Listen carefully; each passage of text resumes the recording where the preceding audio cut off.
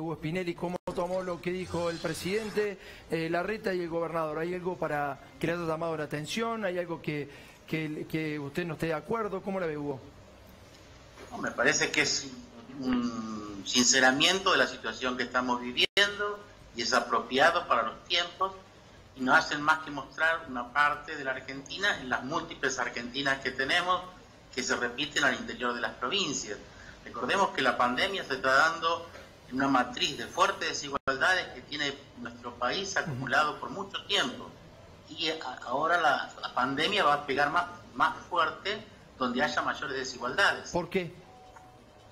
Porque bueno, son los sectores que tienen menos posibilidades de hacer actividades de prevención, porque vienen acumulando el sufrimiento y las desigualdades en términos urbanos, en términos de ingresos, en términos de, de, vivienda, en términos de salud, en términos de agua.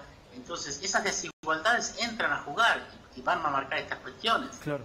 Independientemente que afecta a todos los sectores sociales, indudablemente los sectores que están más postergados en la sociedad son los que van a sufrir mayores consecuencias. Eh, mayores consecuencias porque van a quedar, va a haber más infectados de acuerdo a la disposición de sus viviendas, a, a, a la probabilidad de que tengan o no tengan agua, o también a la mortalidad.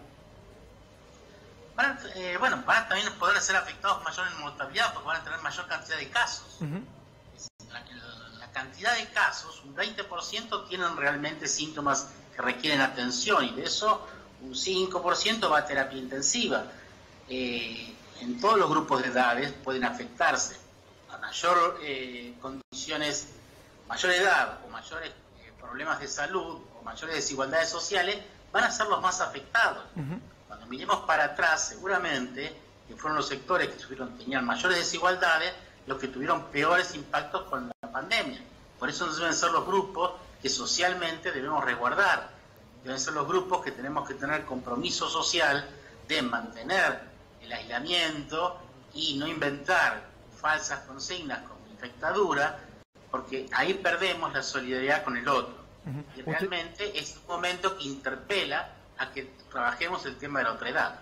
¿Usted cree que el término infectadura es un, es un término que discrimina y que no tiene en cuenta el es, otro? Es una banalidad total, uh merece poco respeto. Y si se mueve en un, en un paradigma de un pensamiento lineal, simple, que expresa las raíces positivistas, que no tienen nada que ver con lo que el virus nos muestra, que es un modelo de complejidad impresionante uh -huh. por lo, los efectos que produce y que requiere un pensamiento mucho más elevado que un pensamiento lineal de causa-efecto, que es fácil, que es simple, pero realmente algunas personas, por el acceso a nivel educativo que han tenido a lo largo de su vida, que utilicen eso, es una falta de honestidad intelectual. Muchísimas gracias, Hugo. Le mando un abrazo grande. ¿eh? Gracias a ustedes.